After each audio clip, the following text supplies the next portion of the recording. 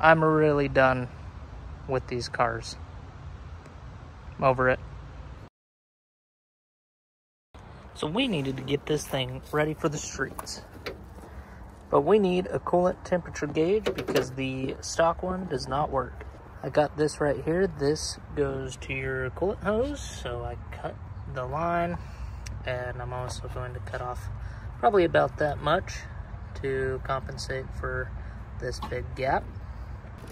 We also have a temperature gauge and this temperature gauge comes with the temperature sensor thingamajigger that screws right into there now that that's installed, we need to wire up our temperature gauge. I have done this before, but it's always nice to go with the instructions, especially with something as complicated as this. Even if this isn't complicated for some people, it's complicated for me. So, starting with green, but all the wires are going to be red because that's the only wiring I have. Look at that jumbled mess of red wires. That's all me right there. I really wish my temperature gauge would work and my fans would work so that I didn't have to do stuff like this. But we're getting pretty hot and I haven't heard the fan kick on. So, time to hook up a kill switch.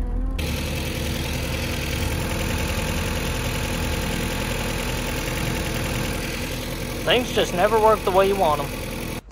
Well, guys, this was supposed to be a badass epic video. Got the truck registered, got the license plate, got it insured, hooked up the kill switch for the fan, hooked up the temperature gauge, and I was washing the engine bay, and now the truck won't run.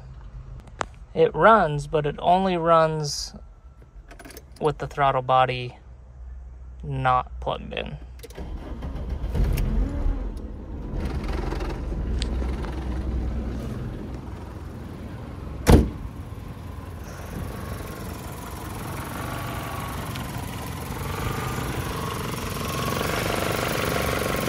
So now I'm gonna plug it in.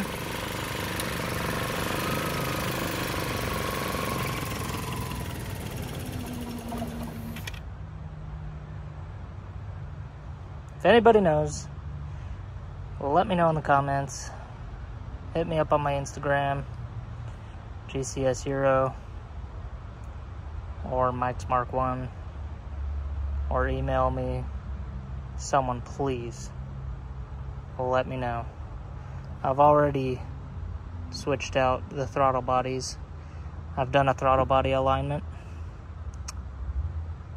I think it all just narrows down to wiring again. Yippee.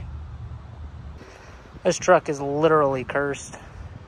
If I ever get it running again, I'm immediately posting it for sale. I'm tired of it. And as you can see, the race rabbit in the back is also broken. So these both will probably go for really cheap. Because I'm tired of it. It's a pain in the butt. I'm done.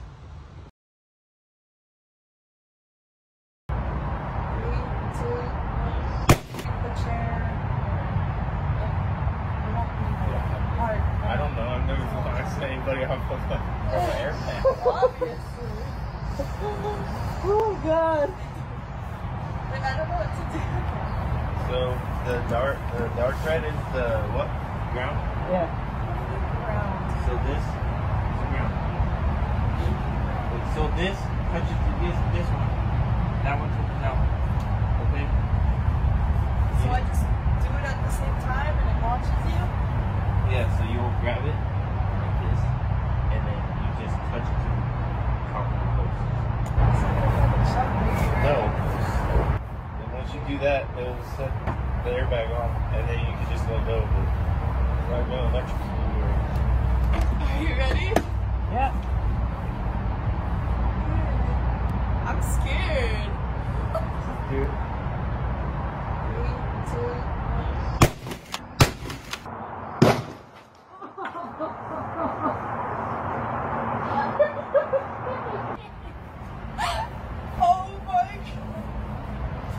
one. Bro, it broke that fucking board. Did it hit you, man?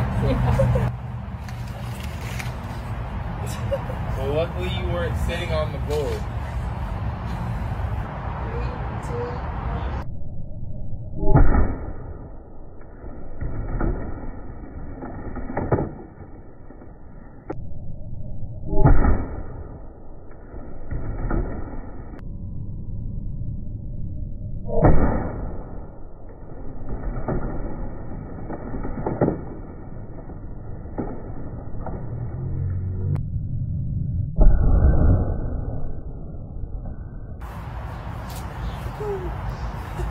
Luckily it wasn't actually like wood. It was just.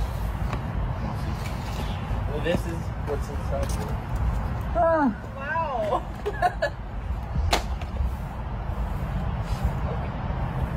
That was fun. I'm, I'm happy with the outcome. I'm glad you didn't go flying. wow. I'm surprised it actually worked. I saw you like this. I was like, hopefully it doesn't go in the air and land on his neck. no. I was trying not to fly backwards. Big backflip. Yeah. It was like this. So that piece of wood was up in my butt. Shrapnel everywhere. There's gonna be a part two to this probably. And we're gonna do side by side explosion. Oh, Except with passenger airbags this time, so we get launched even further.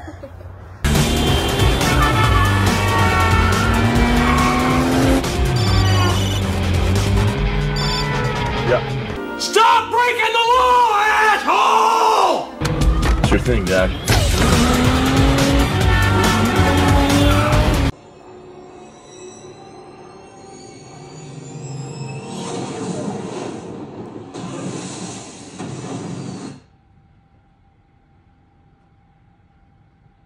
Sabrina. Sabrina. Sabrina. What are you doing?